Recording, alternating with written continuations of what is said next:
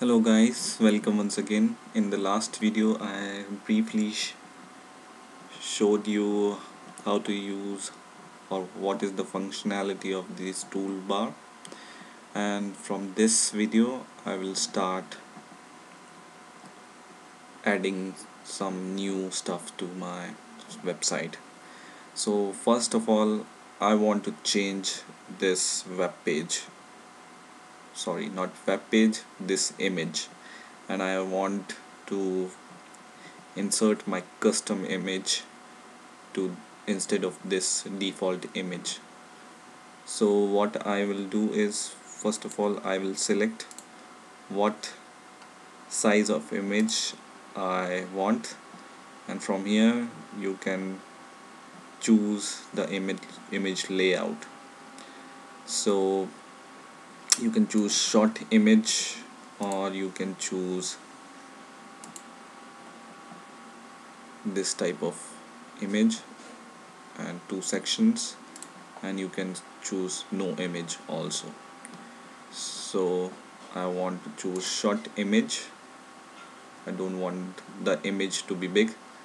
And then I will click edit image and I will add my the image from my computer. And this is the image from my project which I have made in Java NetBeans so I want the image to be like this. You can drag the image and set the image what part of your image you want to show and from here also you can add some effect also. For example you want it to be black and white normal antique. I want it to be normal. And you can add like this also. But I want it to be normal. So like this and I will click OK so these are the effects. You can also give the fading effect from here. You can also change the opacity of the image. So it will be faded or non-faded. I don't want to change. Here you can change or rotate your image. I just want to crop my image a little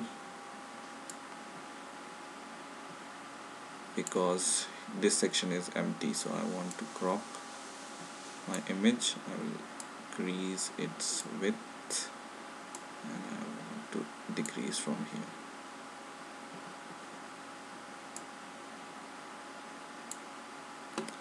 Okay and I will click OK and then I just will increase this size from here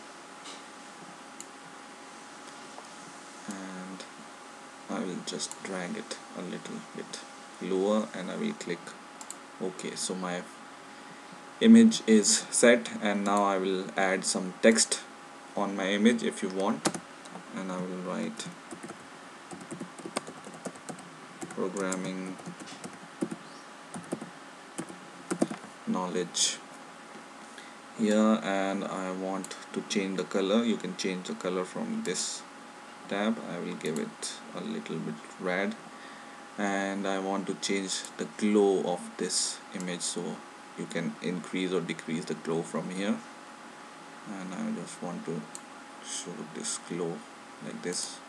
I'll click OK. And you can also give the shadows.